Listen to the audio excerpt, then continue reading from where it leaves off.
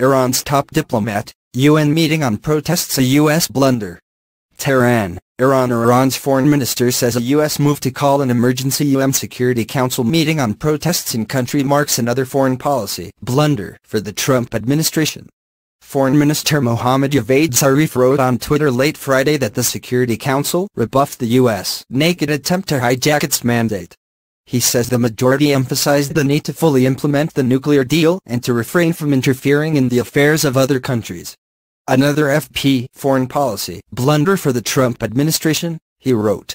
U.S. President Donald Trump has voiced encouragement for anti-government demonstrations that have broken out in Iran. The U.S. called the UN meeting on Friday, portraying the protests that began last week as a human rights issue that could spill over into an international